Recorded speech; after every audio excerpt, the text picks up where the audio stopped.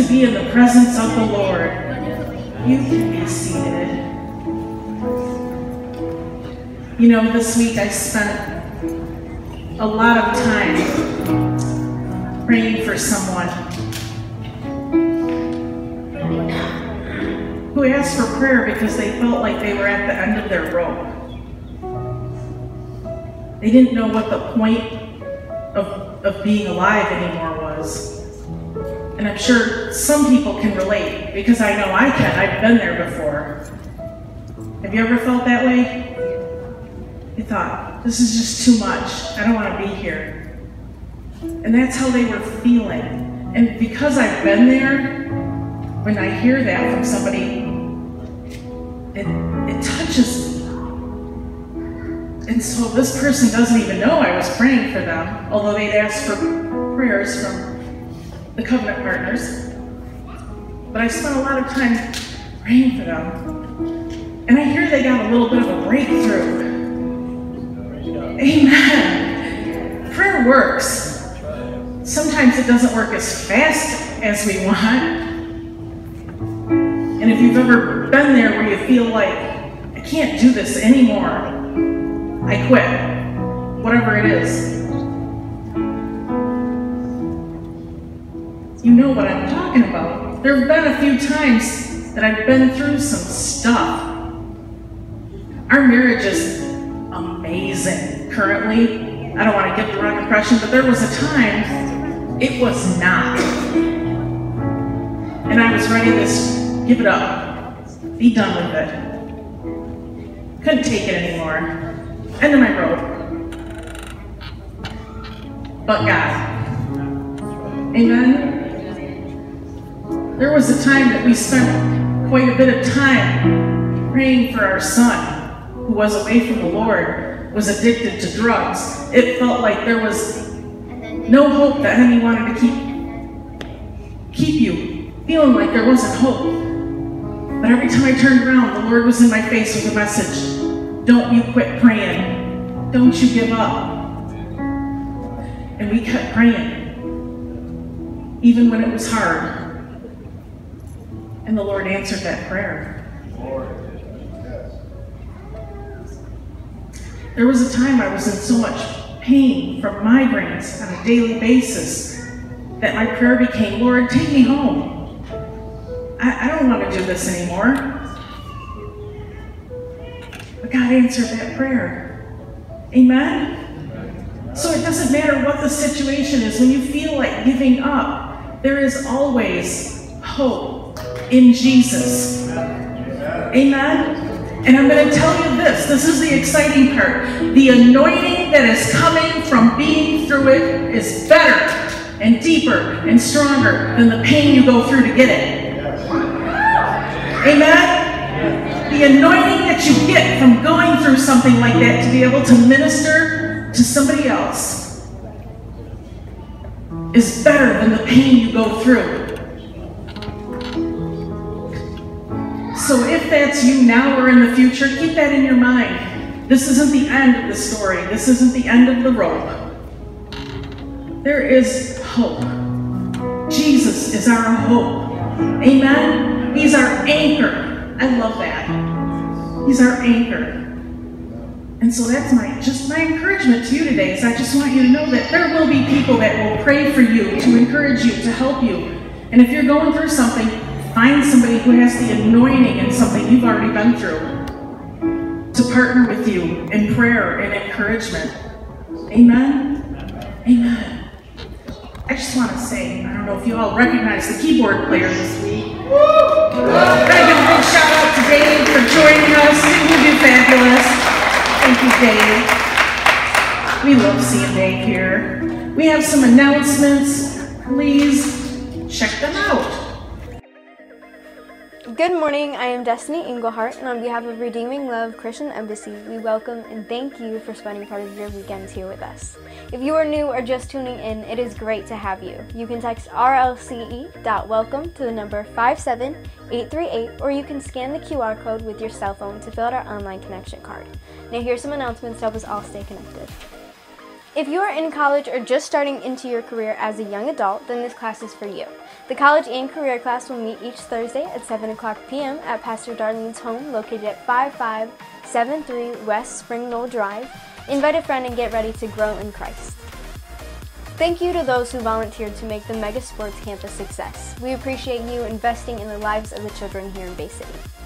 Speaking of children, our annual Back to School Bash is coming to Bangor Downs on Wednesday, August 11th. School is soon to begin, and we want to help area children with their basic school supplies. Your donation of $10 will enable children to have a backpack, crayons, markers, colored pencils, glue, pencils, erasers, and two notebooks. Text RLCE to the number or place your donation in an envelope and mark BASH on it. Do you desire to be baptized? Great! We are planning an all church picnic and baptism on Sunday, August 8th at the Heathcote Park in Saginaw. From 4 o'clock p.m. to 6 o'clock p.m., please see the sign up list at the hospitality table for food and beverages. For those desiring to be baptized, there is a sign up for an informational meeting with Pastor Rick. If you didn't know, we are raising funds to build or to purchase our own building to be used as an event center and church. We are off to the next goal of $750,000. Here are a few convenient ways to give. Scan this QR code from your cell phone or text RLCE to the number 73256 or place your gift in an envelope marked building on it and mail it to 3012 East Midland Road, Bay City, Michigan 48706. You can renew your pledge, make a new pledge, or help us with fundraisers. Thank you for your continued financial support to RLCE.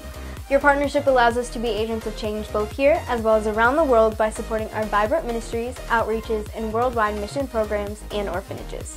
Giving has never been easier. You can securely give from your mobile device by texting RLCE to the number 73256 or simply scan this QR code with your cell phone. Offering baskets are also on each side of the stage as well as in the foyer for those giving their tithes and offerings in person. Feel free to place your offering envelopes at any one of these locations during our greeting time. At this time, the children are dismissed to go next door to our secure United Way Family Center. Nursery is open for children ages 3 and under on the mezzanine each Sunday except the first Sunday of each month. Those desiring to give your tithes and offerings may do so at this time with containers located to the left and to the right of the stage. Feel free to take a moment to greet one another. Our next announcements will resume shortly. And now please welcome. Well, good morning. You know, I, I would just echo the sentiments uh, that it's, you know, it's, it's nice to see Dave and Joy here this morning. Honestly, it's nice to see Olive here this morning. Amen. I absolutely am thrilled that I get to spend part of your Sunday and my Sunday together because, you know, the truth is, is really we are absolutely better together. Do you, do you believe that this morning, church? That was really pathetic. Woo! We are better together. We absolutely are better together, and I absolutely 100% agree with that. And, and honestly, the more this year has gone by, the more that really is, is really sunk into my heart concerning, you know, how much better I am with having all of you folks in my life. And I, I absolutely mean that. 100% I mean. You know, one of the things that, uh, that I've talked about in years past, you know, I, I like to do a garden. You know, it's one of the things that I've enjoyed over the years, just to just kind of get my mind off of things. And I didn't, didn't do a garden last year. I just, I just, I felt off, right? How many people kind of felt off last year? I felt really off last year. I just didn't feel like doing the garden. But this year, man, I just really felt like doing the garden. And I'm happy to report to you that the garden is doing phenomenal. It really is. It's doing like my tomato plants. Anybody got any tomato plants this year? Ooh, man, I tell you what. My, now I know I'm not really tall, so people like Shane don't laugh at me. But my tomato plants are literally as tall as I am. I'm like so geeked about it. They're like humongous. I picked my first red cherry tomato yesterday. Tried giving it to the wife. She didn't want it, so he's good. He's good. But anyway, you didn't come here to hear me talk about my garden, but I could talk about it a little bit more because it really is doing that good. But you know, one of the other things that Nikki and I actually enjoy doing and getting ready for springtime, you know, you, you get out of that winter doldrums and you're kind of ready for life, right? You're ready just to see things get green, you're ready for springtime, you're ready for flowers. So we we actually like to plant flower. I actually like to plant flowers on the back deck with my two little helpers up here in the front, Maddie and, and Rianne. We usually plant the flowers on the, the back deck. We just enjoy that all summer long. So Nikki and I will enjoy those on, on the back deck. But we also like to plant flowers. We buy hanging flowers. I can't say plant flowers.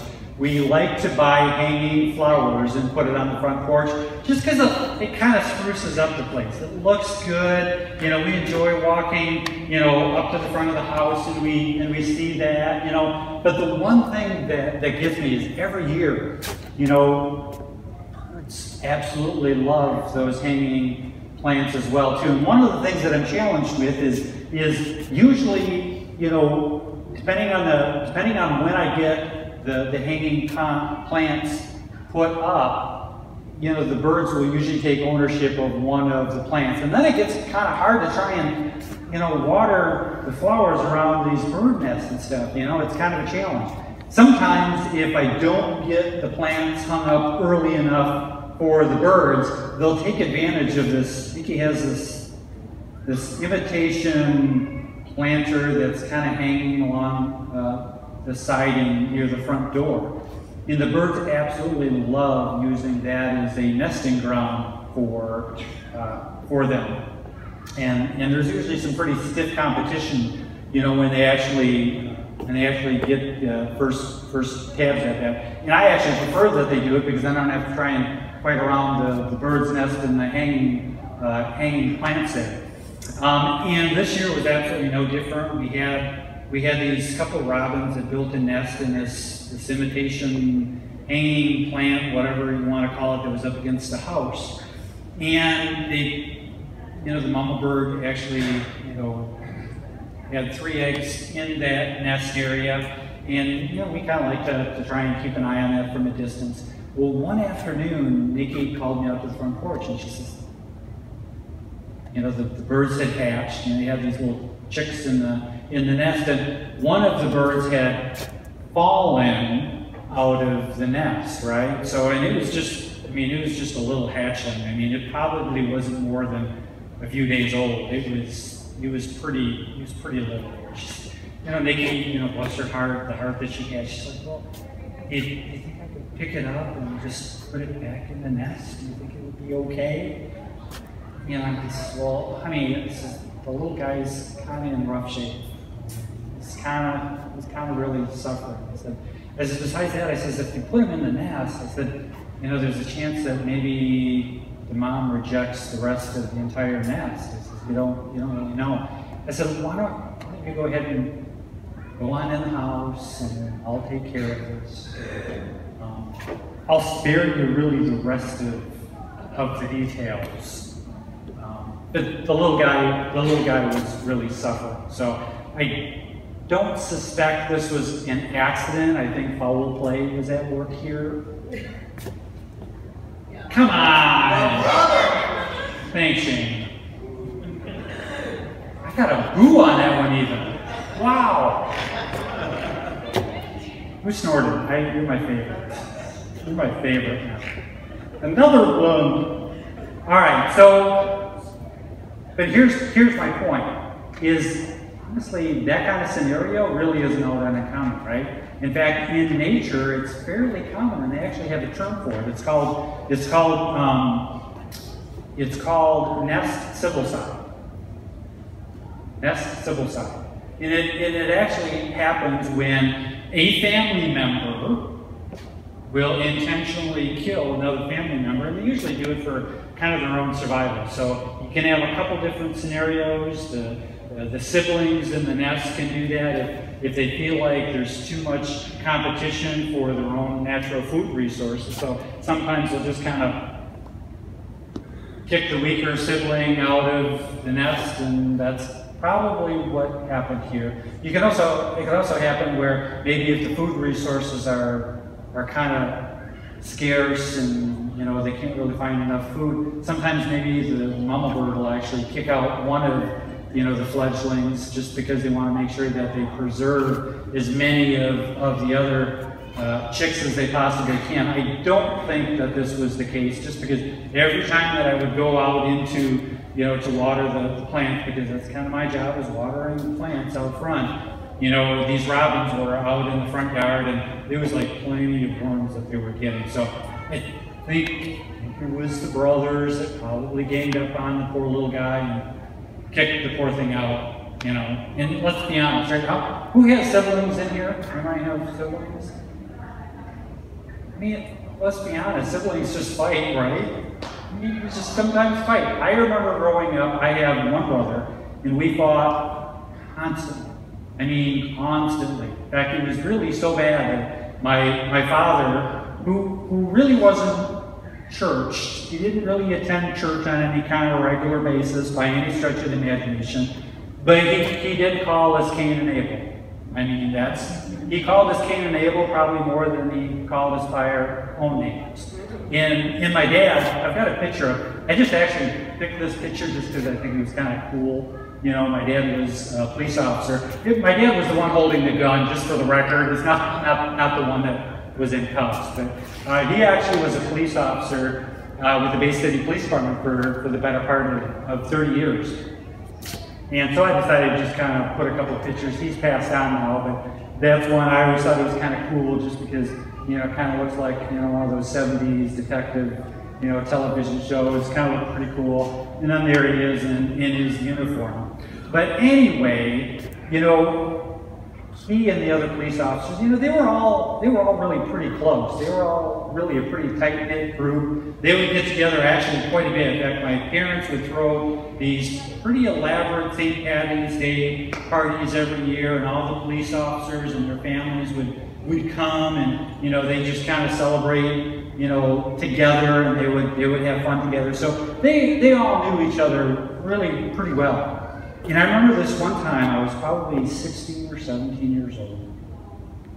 Yeah, that's a that's a it's a picture of me. And I was in I was in my one of my one of my I call newer cars. First car that I bought, it was a Toyota Celica. It was yellow, and trust me, the color was very fitting because it really was a lemon. But I thought it looked cool. I thought it looked really nice. You know, I had a had a moon roof. You know, and I could I could drive around it. I remember one time I was driving around town and I got pulled over.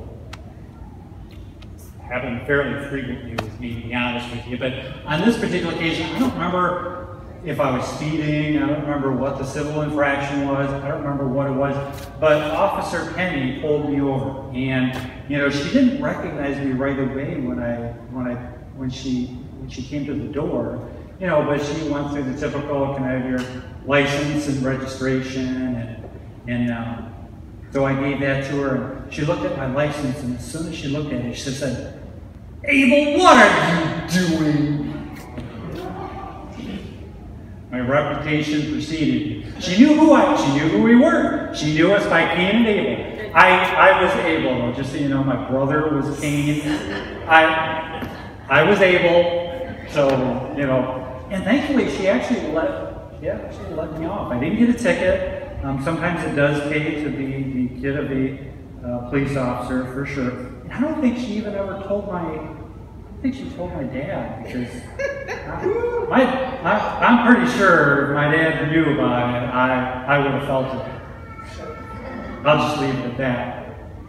But you know, like I said, even even in you know normal unchurched circles, the story of Cain and Abel is pretty well known, right? That, you know, from a historical perspective, it's really the first recorded murder that that we have in history, right? I mean, it was recorded back. It's actually the, the first uh, human siblicide situation that occurred, right? Because Cain killed his his brother. Let's let's pick that up just real quickly here in Genesis chapter four. You can take a look at, at the screen behind me if you've got your smartphones or if you've got your Bible. You can turn to Genesis chapter four.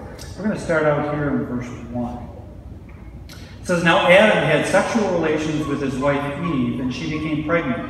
When she gave birth to Cain, she said, With the Lord's help, I have produced a man. Later, she gave birth to his brother and named him Abel. When they grew up, Abel became a shepherd, while Cain cultivated the ground. When it was time for the harvest, Cain presented some of his crops as a gift to the Lord. Abel also brought a gift, the best portions of the first lambs from his flock. The Lord accepted Abel and his gift, but he did not accept Cain and his gift. This made Cain very angry, and he looked dejected. Why are you so angry? The Lord asked Cain. Why do you look so dejected? You will be accepted if you do what is right, but if you refuse to do what is right, then watch out. Sin is crouching at the door, eager to control you. But you must subdue it and be its master. One day Cain suggested to his brother, Let's go out into the fields. And while they were in the fields, Cain attacked his brother Abel and killed him. Afterwards, the Lord asked Cain, Where is your brother? Where is Abel? I don't know, Cain responded. Am I my brother's guardian? But the Lord said, What have you done? Listen, your brother's blood cries out to me from the ground. Now you are cursed in your in now you are cursed and banished from the ground, which has swallowed your brother's blood. No longer will the ground yield good crops for you, no matter how hard you work. From now on, you will be a homeless wanderer on the earth.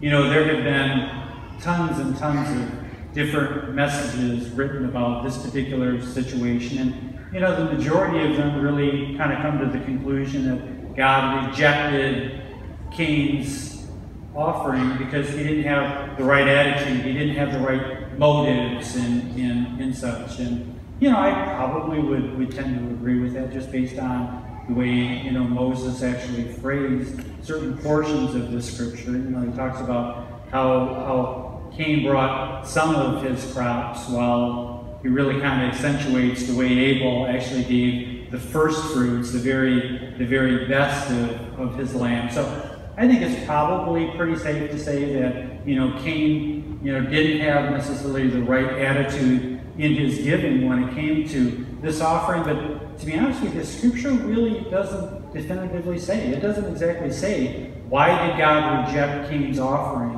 and so pleased with with Abel's. Just really tells Cain that you know if you do well, you will be accepted. But I think, to me anyway, it's not really the point of the story anyway, right? It's just really not. Cain was so angered he had so much anger in, in to the degree that he actually went out and, and killed his brother, right? He didn't understand the value that there was in, in family. Not at all. Now, whether it's because he didn't necessarily appreciate the value of family or he didn't necessarily appreciate uh, where his position was in the family, you know, that's that's something that we're not going to know on this side of heaven, right? But whatever the cause was, Cain had an awful lot of anger built up in, inside of him. He didn't necessarily appreciate his brother. And you know, when I think of when I think of that term, you know, 20, 30 years ago, it was pretty common in the church that people would refer to one another as brother so and so or sister so and so. You know, um, Brother Bill and Sister Helen and those kind of things. And we don't, we don't really do that too much anymore. We, we do have a, a few remnant that does it. I think of I think of Daniel back in the sound booth. I still hear Daniel refer to people as you know brother so and so and sister so and so. Honestly, it just it tickles my heart when I hear him do that, just because that's Daniel's heart. He just has he has a heart for people, and, and when he says it, he says it with a sincerity because he does absolutely value one another as brothers and sisters in Christ because that's truly what we are, right? And I'm not I'm not saying that I'm not saying that I necessarily was one that went around and saying, hello, brother so and so, or hello, sister so and so, and that I wanted people to refer to me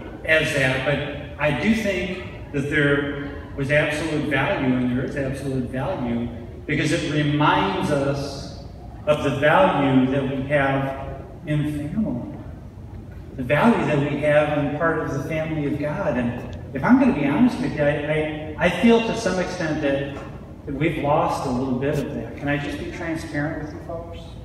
I feel like we've lost a little bit of that. You know, part of part of that, you know, a lot of that, let's just be honest, has to do with, you know, a lot of what we went through last year, right?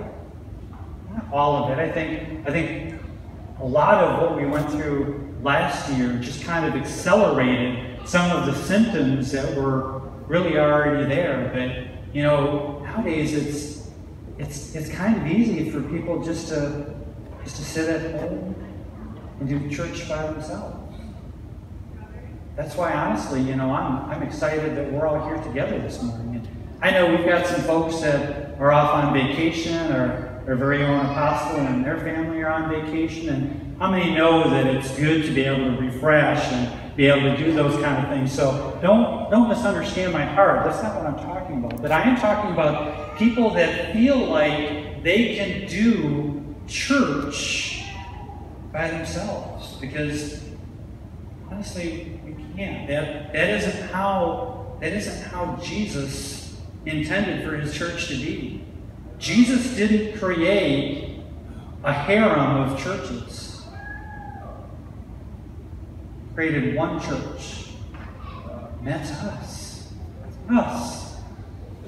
I, I, I, get it. I mean, even even us last year, you know, there was a certain time where we couldn't we couldn't meet together, right? So, you know, we we would, you know, record or live stream our our services there. And, you know, I there's a couple weeks that I kind of liked it. I got to be honest with you. You know, I would, you know, we'd turn down the living room there, and you know, we'd all come out there, and if I needed a cup of coffee or refill, I could just go get a cup of coffee and a refill. It was kind of nice. But there was something missing. There was something missing, and, and, and that isn't that isn't doing church. And please hear my heart. I am I am not here to, to, to, to criticize or condemn anybody.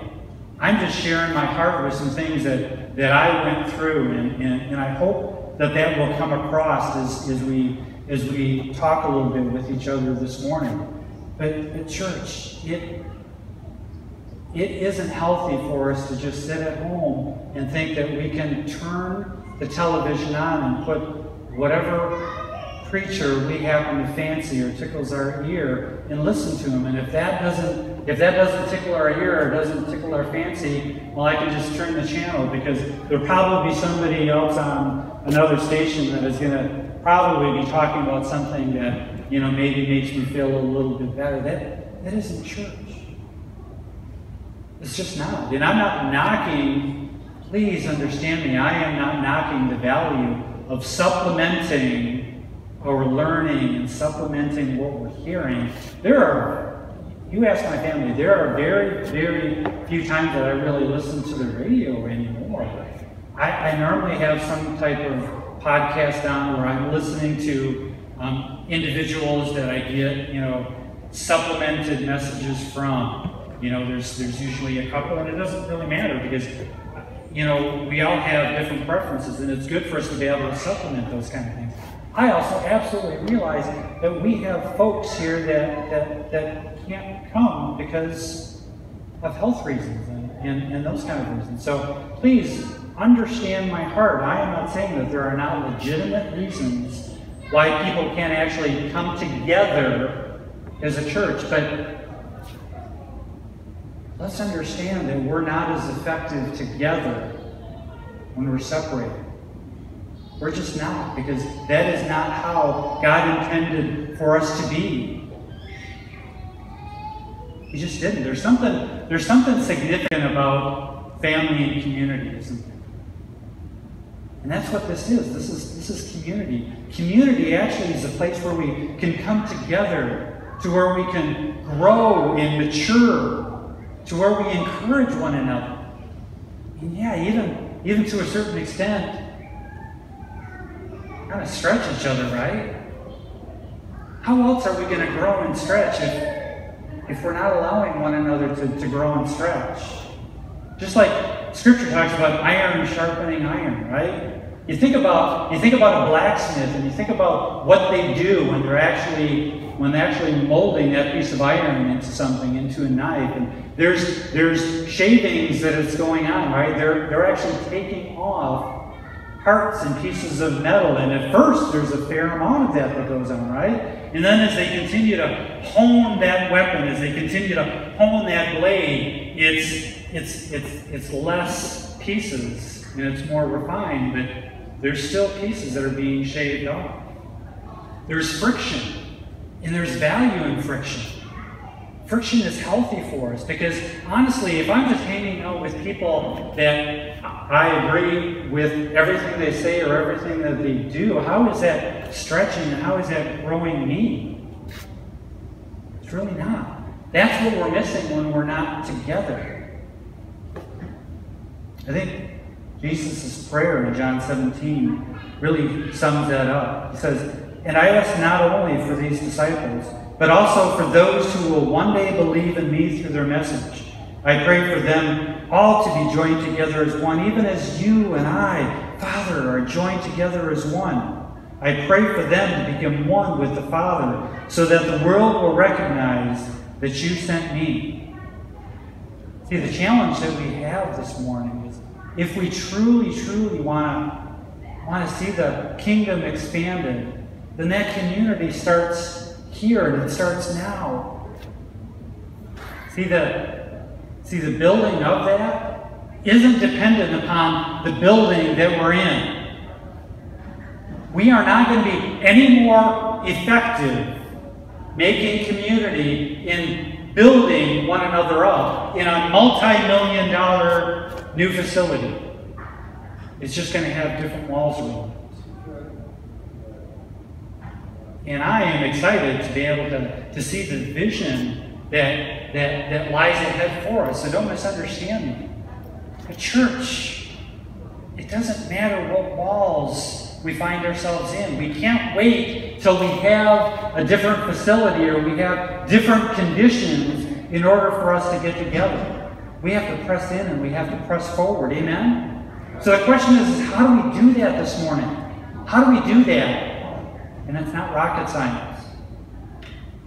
I think the writer of Hebrew really gives us three good points that I'd, I'd like us to, to really kind of get into our spirit and emphasize this morning. We find it in Hebrews 10, verses 24 and 25. It says Let us think of ways to motivate one another to acts of love and good works. And let us not neglect our meeting together as some people do, but encourage one another, especially now that the day of his return is drawing near. Three simple points. The first point that the writer of Hebrew makes is motivate one another to acts of love and good works.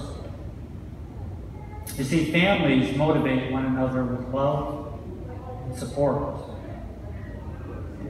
regardless.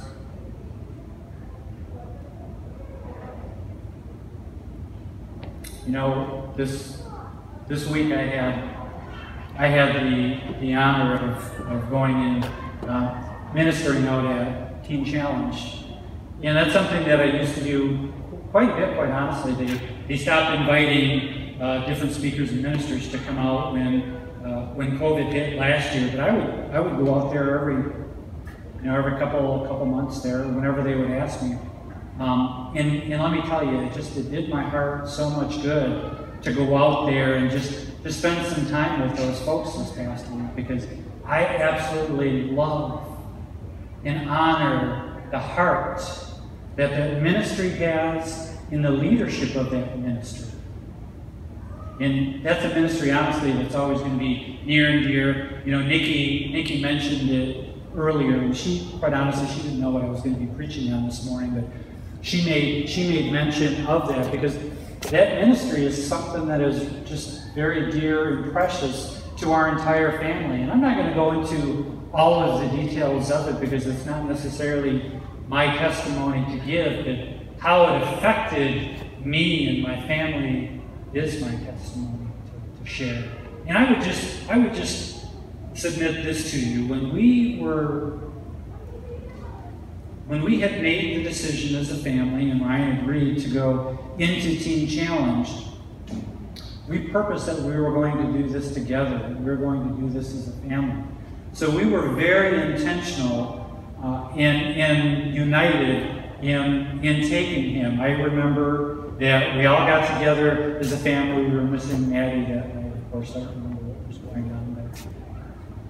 We went together and we all went out to dinner. And and the, the picture that you see on, on the left here, actually, we, we all went together, and I think it was just the Outback. I don't, really remember where we went, but we went out and we ate a meal together, and we just shared some moments together. And then when we got, then when we get done with our meal together as a family, we drove to the men's center to, to be able to take him there. And we, when we got into the, to the house of the men's center, the, the office or the intake is in the very back section of, of the men's center. So you have to literally walk through the house to be able to get to the office. And, and we all walked in together. I wasn't doing real good. I wasn't doing real good at that time. And we walked into the kitchen dining area where all of the students were actually they were studying there.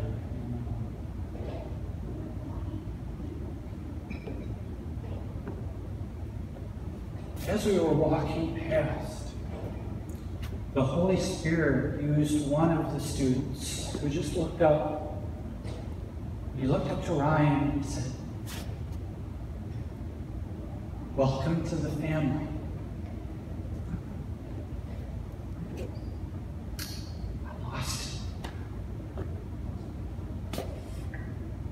Because not only was that word for Ryan, it was for me as a dad. because I knew that he was in the right place. And I knew that the thing that he needed, the thing that he needed ministering, more so than an addiction, was understanding the value that somebody has and where that fits in with family. Church, that is the same hearts of the Father for us as part of His family. That is His heart. And that doesn't mean everything was going to be perfect. That doesn't mean everything went perfect at the men's center. Trust me, because we were uh, we were pretty close to all of those all of those uh, individuals, and and there was some tough times. But God did a working in that situation. We're so thankful for that. But in that moment, that was to me, in that moment, one of the most perfect examples of community that I had ever witnessed, even to this day. Because love and support is what community and family is all, is all about, regardless. Regardless. Amen? The second point in Hebrews says this let us not neglect our meeting together. Families connect. That's what families do, right?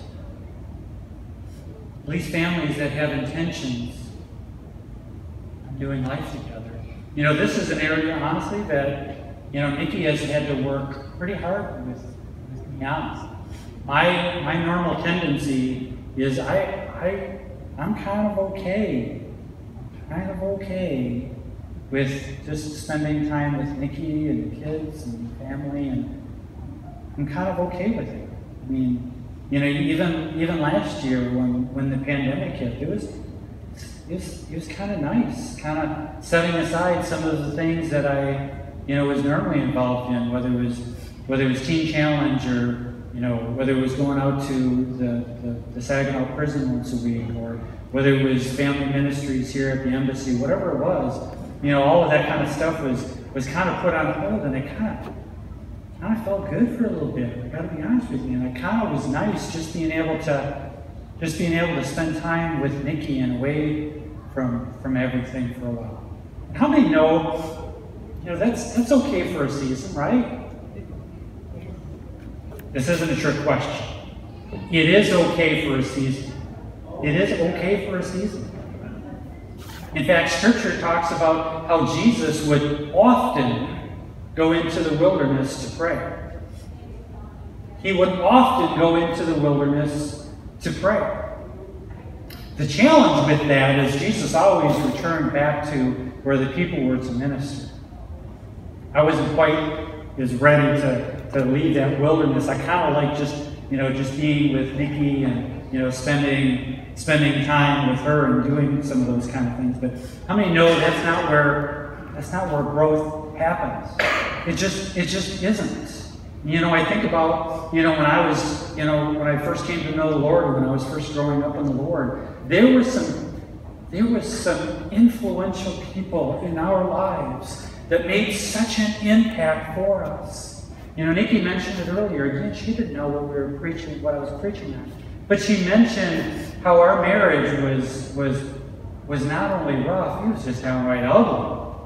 And we're pretty transparent about those kind of things because we know how they can minister to other marriages that are struggling, and we know what God did in our marriage, and we know that if He can do that in our marriage, He can do it in anybody's marriage.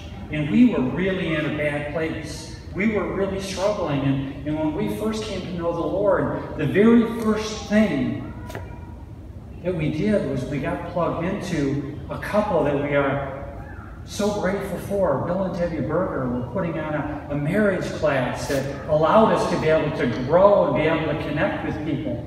And that made such an impact not only on our marriage, but it made an impact in our in our family. You see, those people big community with us, those people connected with us. The other thing that I think about The other thing that I think about is when we first first started going to life groups. Joe and Dolores had a life group at their home. And they had a big life group. They had a, I don't remember, Joe, do you remember how many? I mean, you had a lot, you folks had a lot. You, it was, it was a big life group. I mean, it took their whole living room with chairs lined up all around it. It was, it was phenomenal. And we, we started going to that, and it gave us the opportunity to not only grow and to be able to share some things and have people pray, it got us connected with, with other people. Joe and Dolores, I had never shared how appreciative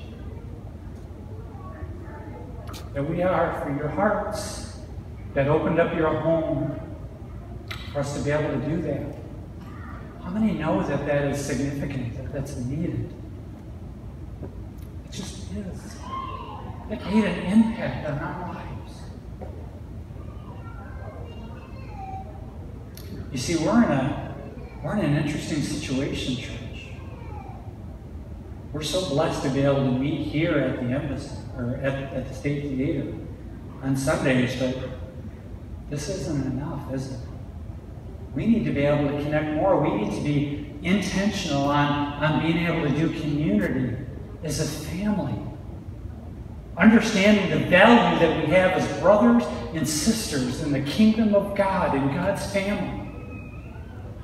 We need to be able to connect, especially, especially if we want to fulfill the vision that our leader has to be impacting for this region and this community on the outside, we have to make community within us first.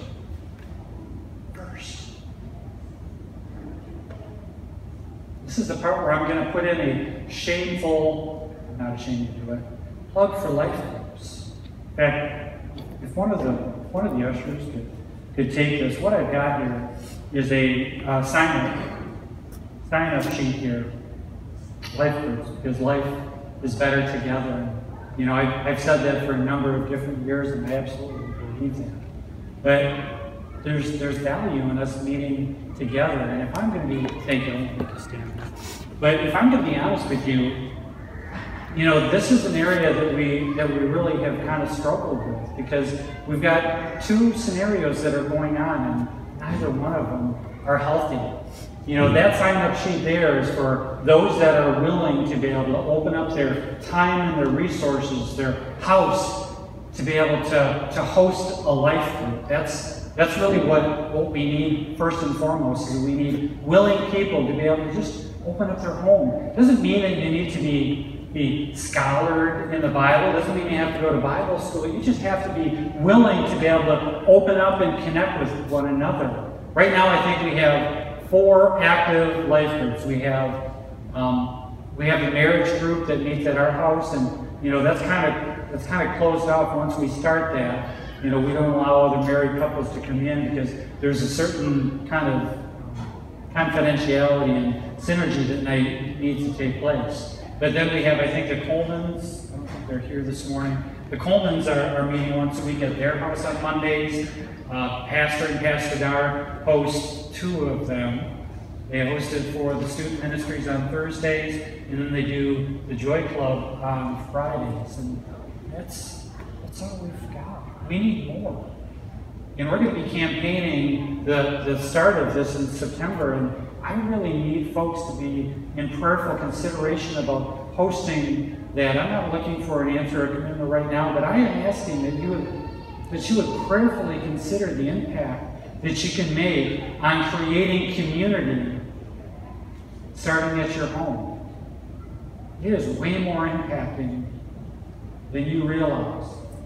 The other thing that I would challenge the rest of us as a congregation about is out of those people that are hosting, I'm going to ask you to step out of your comfort zone and sign up for a life group that maybe you wouldn't normally sign up with.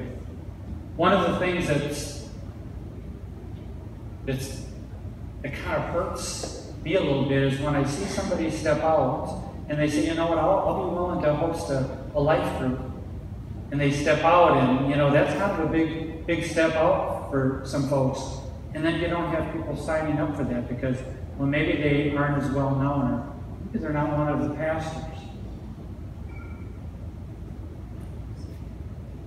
Maybe we need to kind of check on what the purpose is of us wanting to do a life group and be part of it to begin with. Because it's not about recognition, it's not about getting in with, with the leadership, it's about connecting with one another. Church, we need. We need that connection more so than I think sometimes we realize. Point number three. But encourage one another, especially now that the day is approaching. Third point, pretty simple. Families encourage one another. Have you ever heard of the story of the group of frogs? Anybody? Short story. Let me read it to you. It says, as a group of frogs was traveling through the woods, two of them fell into a deep pit. When the other frogs crowded around the pit and saw how deep it was, they told the two frogs that there was no hope left for them. However, the two frogs decided to ignore what the others were saying, and they proceeded to try and jump out of the pit. Despite their efforts, the group of frogs at the top of the pit were still saying that they should just give up, that they would never make it out. Eventually, one of the frogs took heed to what the others were saying and he gave up, falling down to his death. The other frogs continued to jump as hard as he could. And again, the crowd of frogs yelled at him to stop the pain and just stop. He jumped even harder and finally made it out. When he got out, the other frog said, Did you not hear us? The frog explained it. He thought that they were encouraging him the entire time. You know, the words that we say can have significance to other people and what they're hearing. And Dave and the rest of the worship team, if you can make your way back up onto the stage this morning, I would appreciate it.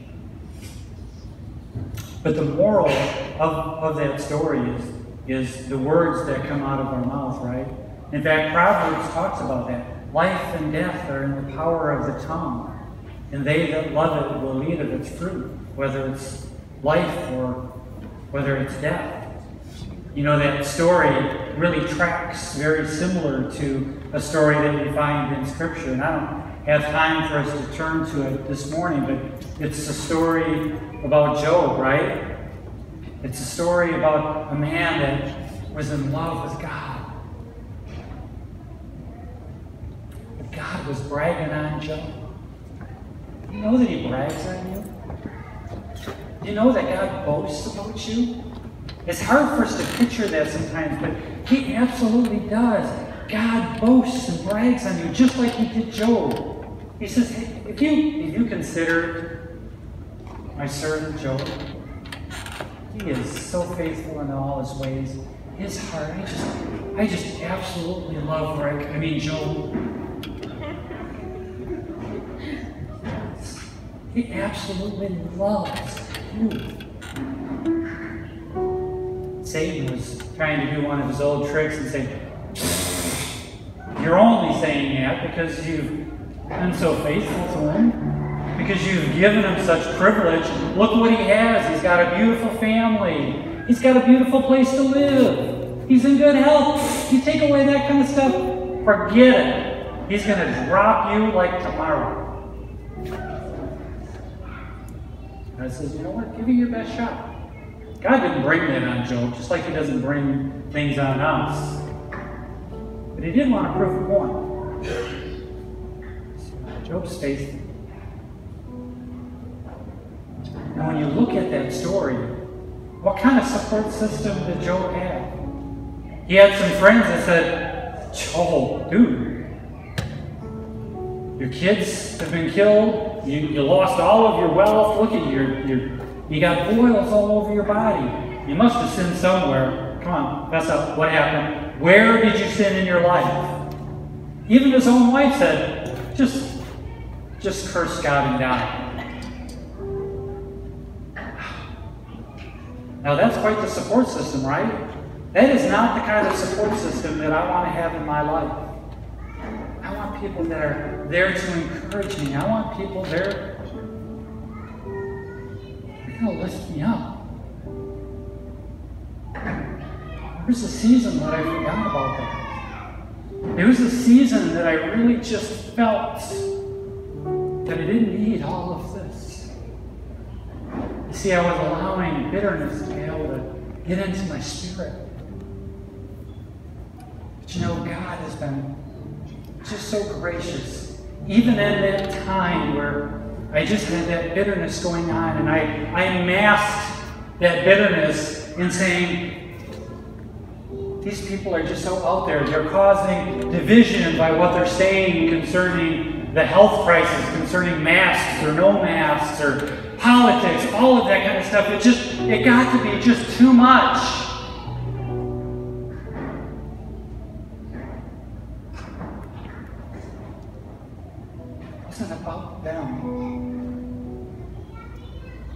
About my heart.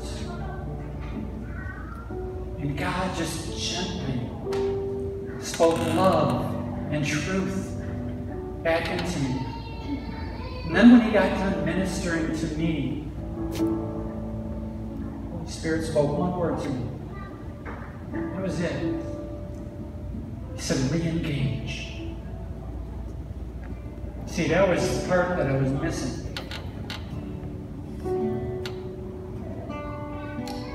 Always went back and re-engaged. Because that's where the ministry needed to happen. See, we need each other, church. Whether we want to admit it or not.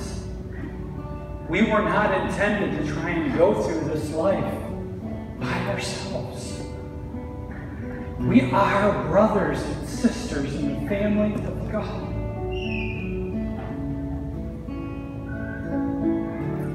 Going to do something just a little bit different this morning. I know it's not something that we're necessarily accustomed to doing, but I'd like everybody just to stand up and come to the front. I just really felt this in my heart.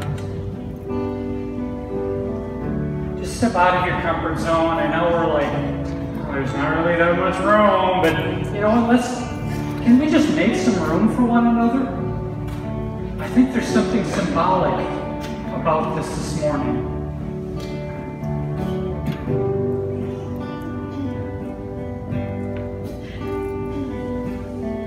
We have to make room for one another, church. There's plenty of room on up. You can come on up. Don't be don't be afraid. I promise I will try and keep the the anointing of spit to a limited amount. Okay?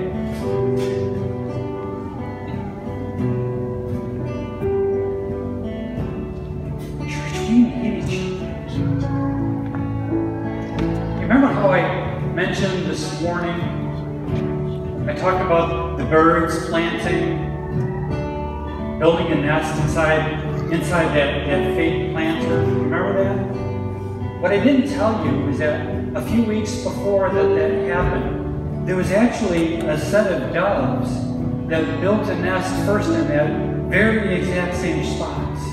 You could tell that there was a difference between the nest because these doves had material that they used it was just kind of all over the place. I mean, they used larger sticks and, and things like that. In fact, the, the doves had actually laid one, one egg inside of this nest. And I would go out onto the front porch and I would, I would water the hanging baskets and this mama dove was really skittish. Every time I would walk out there, she would fly away and then she would go and perch herself on the telephone wire, just kind of waiting for me then one morning, I happened to notice that I didn't, I didn't see the, I didn't see the dove. I didn't see the dove fly away, and I hadn't seen it come back. And sure enough, that that dove had left the nest. She actually abandoned that that egg. She just, she just gave up. I find it interesting that that the robins that chose to build a nest in the very same spot totally dismantled the old nest from the doves. Totally used different material and built brand new. And you know, they gave me a picture of the heart that's been replaced. You've been given a new heart.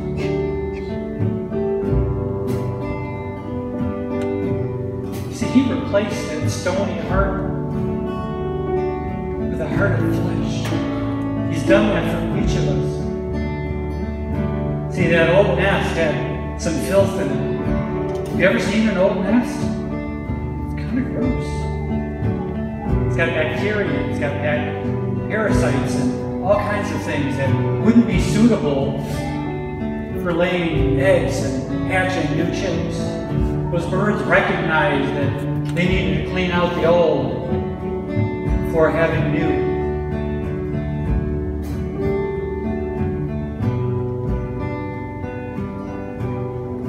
There's value in assessing our toxicity level.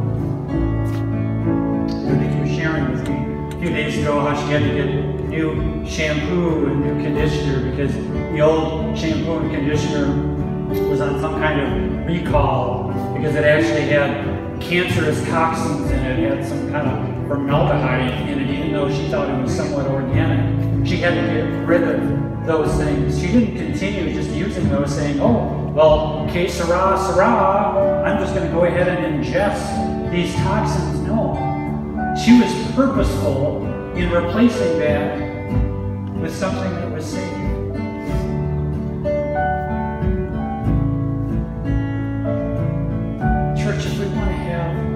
True community, is God intends His family to be, if we truly are brothers and sisters, then we need to ask the Holy Spirit to just, just search our hearts, search those areas in our lives. And if there's any area in my life where there's there's toxins because of, of feelings of divisions, feelings of, of derision, I know I was there. I didn't want to be around anybody. Love you all.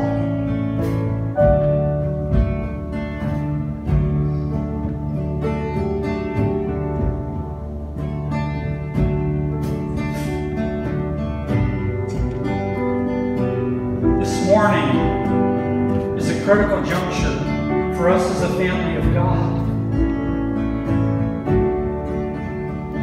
Not here to play church, are we? We're not here to come in on Sunday mornings and then go eat lunch separately at Cracker Barrel and enjoy. There's nothing wrong with those kind of things, but are we really a, a community? Are we really a family? Because families support each other. Families desire to do life together.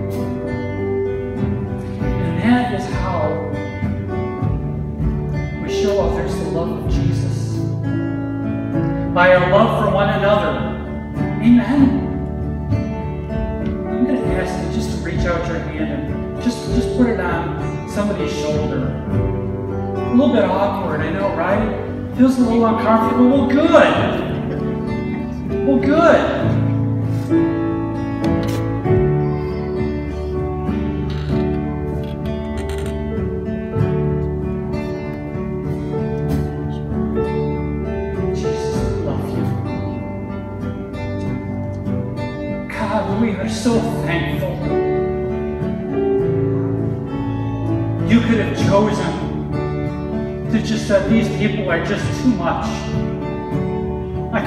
A thing with them. They aren't worth it.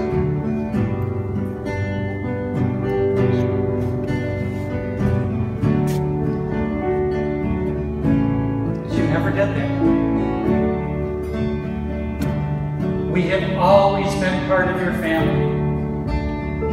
From the very beginning of our creation, you purposed family.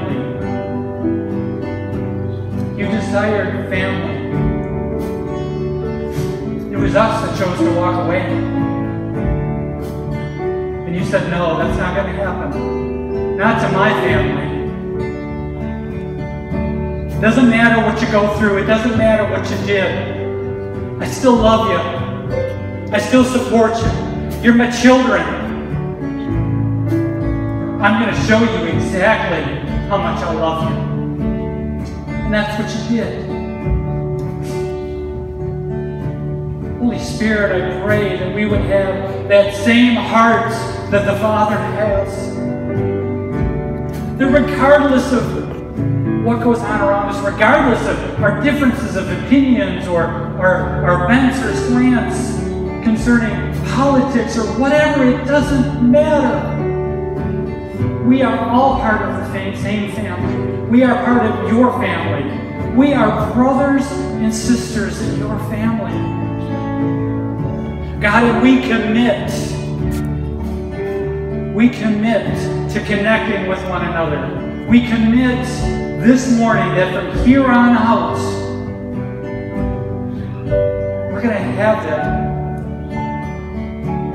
purpose mindset of connecting and doing community with one another. We're going to stop playing church.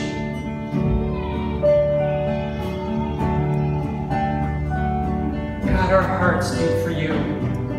Show us how our hearts need to be for one another as well.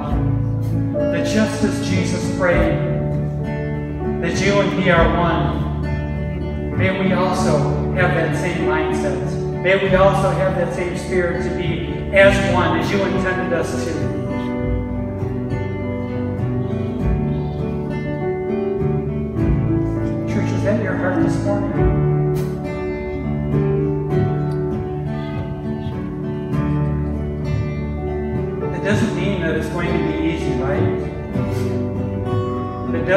That we're not going to be challenged in our relationships. It doesn't mean we're always even going to like each other. We need to get past that. We need to look past that. Because love supports one another, regardless. That's what family does. And if you believe that this morning, say amen. Amen.